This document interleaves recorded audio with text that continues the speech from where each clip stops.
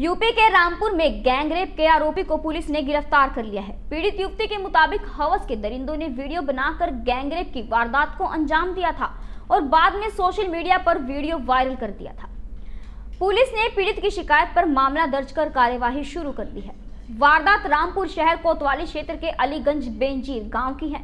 यहाँ 20 वर्षीय युवती को गाँव के ही दो युवकों ने बंधक बनाकर गैंग रेप की वारदात को अंजाम दिया। साथ ही इस घटनाक्रम की वीडियो भी बनाई।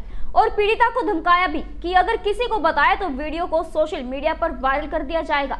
यह कहकर दोनों युवक पीड़िता को बदहवास हालत में मौके पर छोड़कर फरार हो गए थे।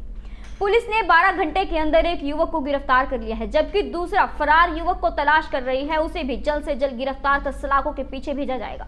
बीस साल की युवती के साथ दुष्कर्म का मामला सामने आया है। पूरा मामला क्या थाने पे सूचना मिली अलीगंज बेनज़ीर की घटना है ये। इसमें पीड़िता ने बताया कि दो युवकों ने उसके साथ गलत काम किया। एक ने उसकी वीडियो बनाई और उसको वायरल भी किया। व्हाट्सएप पे बता रही थी पीड़िता। तो उसके बाद फिर पुलिस ने त्वरित कार्रवाई की। बारह घंटे के अंदर इसको जिस, जो दो अभियुक्त हैं, उसमें से एक को पकड़ लिया।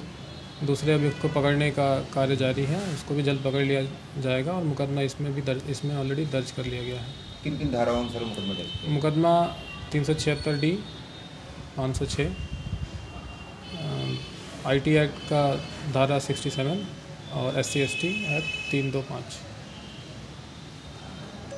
JBD Banquets लाए हैं Incredible Marriage Palace Rajgharana and the finest banquet hall Jyoti Garden. World class catering, centrally air conditioned, lush green lawns, state of the art lighting. A perfect venue for wedding, launching and parties. Rajgharana and Jyoti Garden at JBD Banquets Enterprise. ऐसे ही latest खबरें पाने के लिए bell icon को click कर हमारे channel को like share and subscribe करें धन्यवाद